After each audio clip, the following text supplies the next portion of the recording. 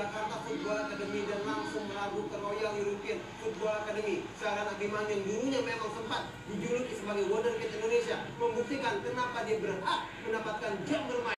Rizky Ridho buang bola langsung ke tengah. Dan, dan telah diserangan dari Brunei. Azizi langsung ke kanan ditempati oleh Suhaimi. Masih Suhaimi digagalkan Indonesia. Akhirnya kuasai bola sepenuhnya Indonesia. Gagal kita lihat tadi Sadir